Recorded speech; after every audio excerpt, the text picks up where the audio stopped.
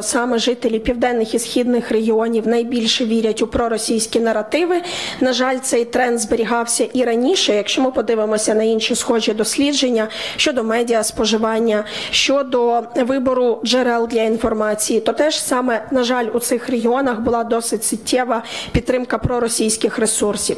Якщо ми пригадаємо і порівняємо із підтримкою політичних партій, то проросійські партії нині заборонена ОПЗЖ теж мали найбільшу підтримку саме на півдні і на сході України, і відповідно там подібні наративи краще закріплюються. Теми, які найбільше українці зустрічали, саме теми дезінформації, то е, Вийшло саме у нашому опитуванні, що е, найбільше українці за останній час зустрічали наратив про те, що е, в Україні е, переслідують УПЦ МП і забороняють власне сповідувати нормальну православну релігію. Із великих популярних тем залишається і вже згадана, е, нібито війна Росії проти НАТО і Заходу, і для цього Україна використовується як плацдарм.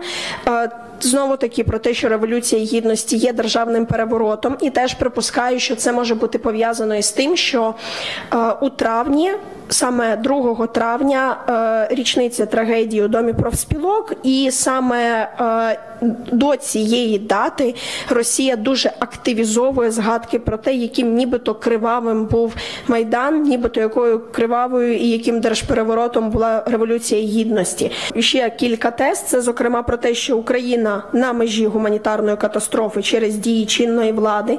Я думаю, це може бути пов'язано зокрема і з матеріальним станом, у якому перебувають або із загальним відчуттям е, розочарування і зниженням рівня життя, який в Україні на жаль все таки відбувається паралельно із війною.